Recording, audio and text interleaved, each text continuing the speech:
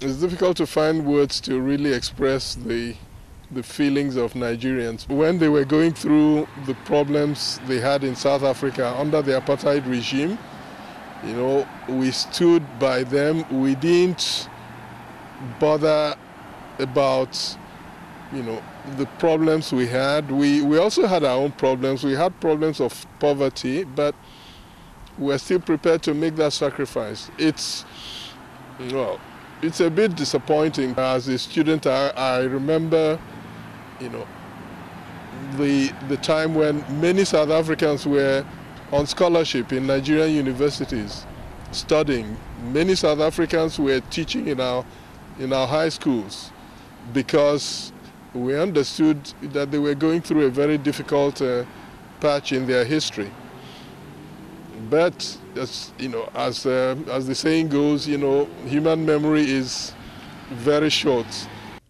Emeka Ndukwe, a retired Nigerian diplomat living in Canada, recalls with fond memories the days of apartheid when Nigeria played the big brother role by offering South Africa a bold shoulder to lean on. The recent upsurge in xenophobic attacks in South Africa has been of great concern to people around the globe. Leaders of the African community in Canada embarked on a peaceful protest at the South African High Commission to express their feelings.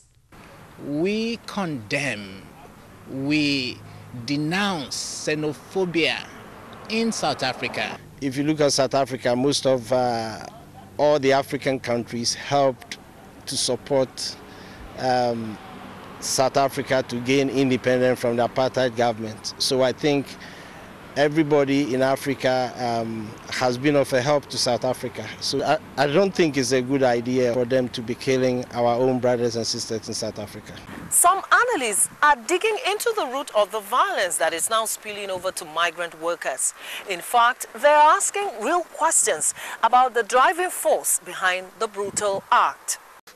I, I personally know South Africans, you know, in, uh, almost in every continent in the world.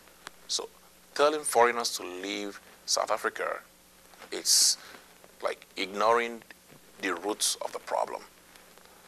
Foreigners are investors.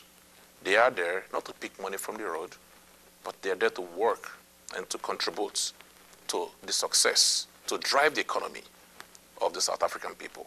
But of course, the uh, people of South Africa, and when I say the people, I'm referring to those yet at the bottom. The first people they can have access to are those who look like them, who are struggling at the bottom. There has been a lack of shared prosperity, you know, that trickles down from, from, the, from the top earners down to those at the bottom.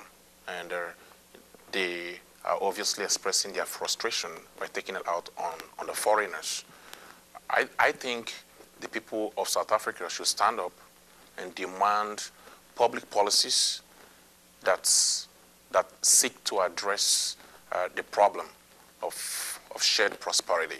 And I think the leadership in South Africa should stand up and, and seek ways uh, to bring the people along. So it goes back to the leadership of the South African people. It may well be that the, the generation that is, uh, you know, doing all of this uh, nasty stuff, you know, didn't, didn't even read the history, the history of this, their struggle, because if they did, I, I think, I don't think they would, you know, attack foreigners in this manner.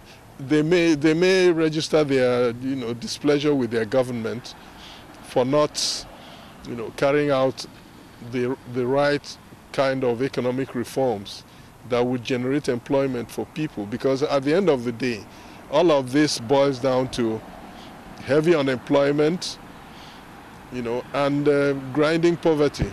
In Canada, Joy Osiagwu, NTA News.